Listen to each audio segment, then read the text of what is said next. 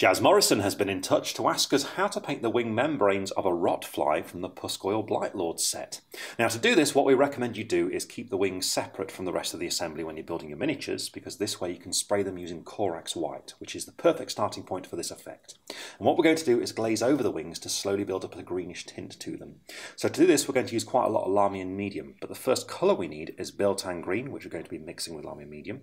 Then we're going to be applying a second coat of this mix but this time a little bit more selectively. After that, we're going to mix Coelia green shaded Lahmian medium for a similar kind of effect, but again quite selectively.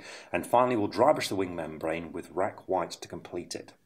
But first of all, we need to create our mix of Biel-Tan Green and Lahmian Medium. And I'm going to do this using a medium shade brush. And the goal here is to create a very thin glaze to slowly build up the colour of green on the wings. So what you need to do is just get a little bit of Biel-Tan Green like this. You don't need loads.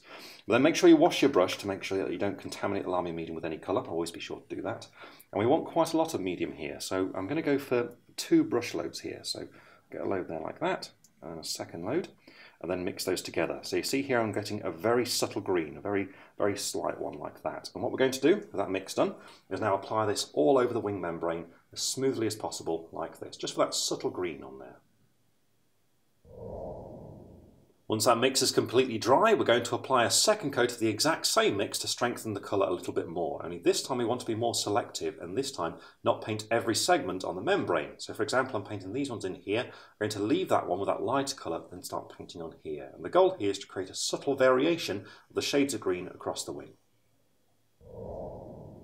Once that second coat is completely dry as well, we're then ready to move on to the next colour, which is going to be Coelia Green shade, which again we're going to heavily dilute using Lahmian Medium. So we want to go for the same sort of mix as what we had previously. So I'm just going to get a little bit of Coelia Green shade now. So put a bit of that onto the palette there.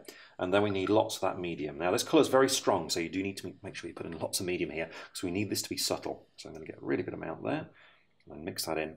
There we go. You see it's very, very thin, very, very subtle. And what we're going to do is go through two phases of this. What you need to do is, at random, pick out two or three of the segments on the wing. So, for example, I might start by doing this one, painting this colour over there.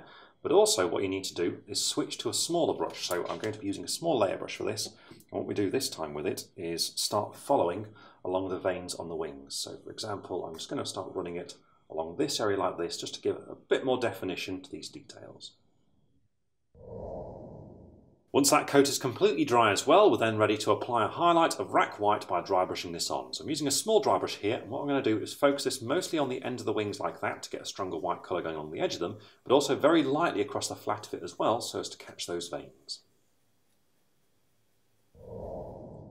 And with that, the wing membrane is complete. So, Jazz, I really hope that helps you out when you're painting your rotflies, and we'll see you all again soon.